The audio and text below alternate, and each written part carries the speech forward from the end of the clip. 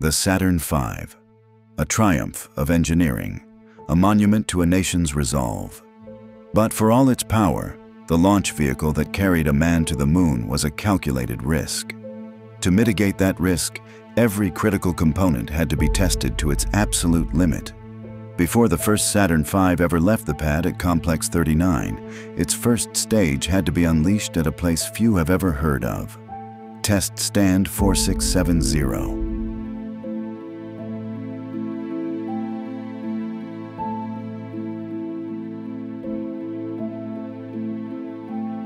This is the S1C stage, the bedrock of the Saturn V. Its five F1 engines, the most powerful single-chamber liquid-fueled engines ever built, generated a combined 7.5 million pounds of thrust. We're talking about a vehicle 138 feet tall and 33 feet in diameter, fueled by RP-1 and liquid oxygen that had to lift the entire 6.5 million pounds rocket into the upper atmosphere in just over two minutes.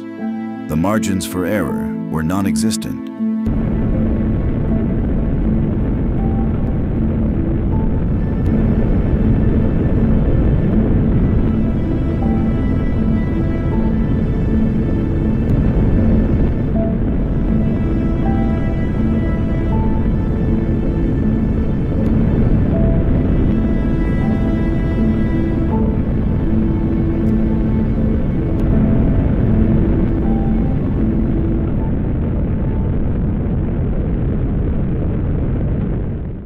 The stand itself was an act of faith.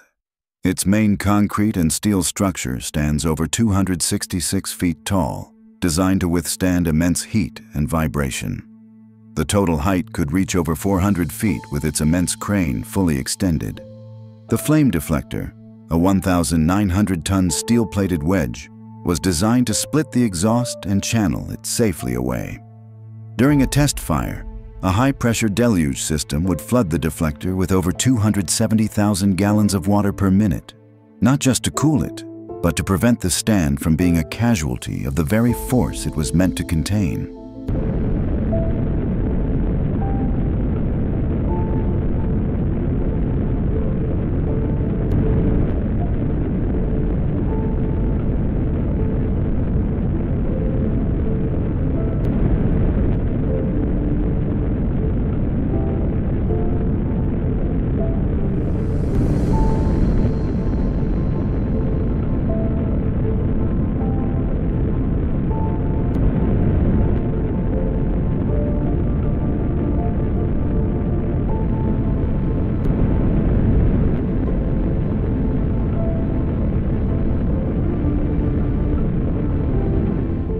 The objective of a static fire was multifaceted. It was a live fire audit of the S1C's performance, from the structural integrity of its massive fuel tanks to the precision timing of the engine ignition and cutoff. For example, the S1CT, a structural test article, underwent multiple firings here, including a full duration firing of 150 seconds. This wasn't just to see if it would work. It was to gather the thousands of data points needed to ensure the flight articles, like the ones that would power Apollo 4 and Apollo 6, were ready for their mission.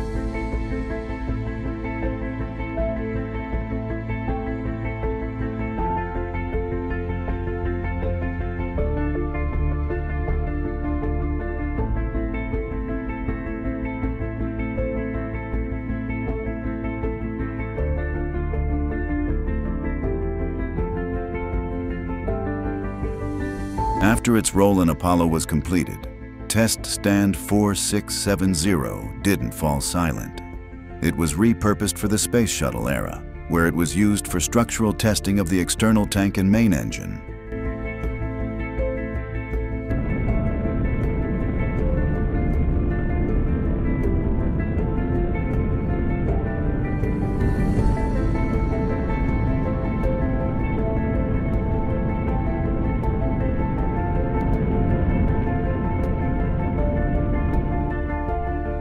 Today, its legacy continues with a new generation of pioneers.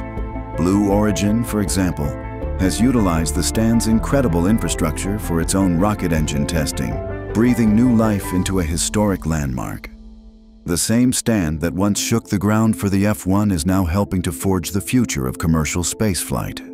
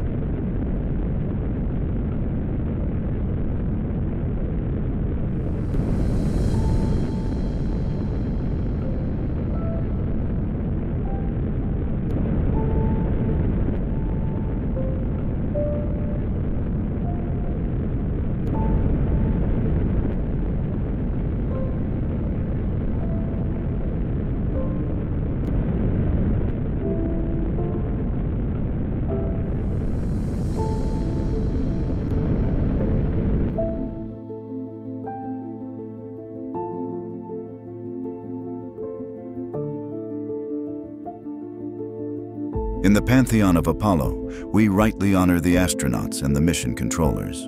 But we should also remember the ground crew, the engineers, and the facilities that made it all possible.